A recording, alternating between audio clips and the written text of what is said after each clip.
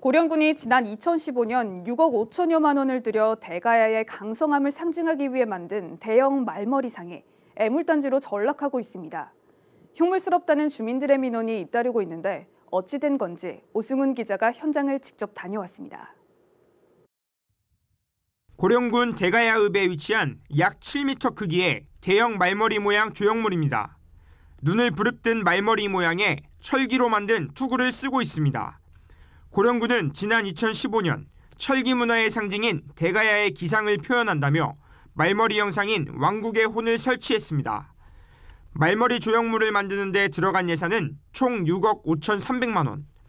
하지만 주민들의 반응은 전반적으로 냉랭했습니다. 말머리 형상이 거대하다 보니 멋지다라는 반응보다는 무섭다, 흉물스럽다는 부정적인 반응이 높았습니다. 당시 고령군은 상징적인 차원에서 읍내 교차로에 설치했지만 주민들의 흉물스럽다는 민원이 잇따르면서 지난 2017년 결국 농촌체험 특구에 옮겨졌고 여기서도 주민들의 반응이 좋지 않는 등 사실상 애물단지가 되고 있습니다. 국민들은 밤에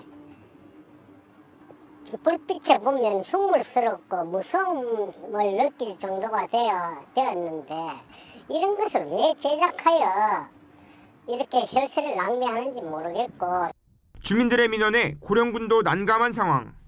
고령군청 관계자는 왕국의 호는 대가야의 강성함을 말투구 모형을 통해 상징적으로 표현한 것이라고 밝혔습니다. 또한 고령군이 대가야의 고장인 만큼 철기 문화와 기마 문화를 대표하는 대가야의 랜드마크로 삼으려 했다고 말했습니다. 하지만 포항시도 3억 원을 들여 과메기 꼬리 모양의 은빛붕어 조형물을 설치했다가 최근 주민들의 민원이 잇따르면서 철거됐습니다. 주민들의 흉물스럽다는 지적에 결국 역사의 뒤안길로 사라진 겁니다.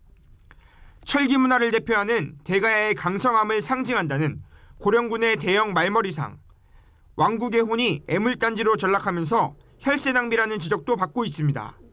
HCN 뉴스 오승훈입니다.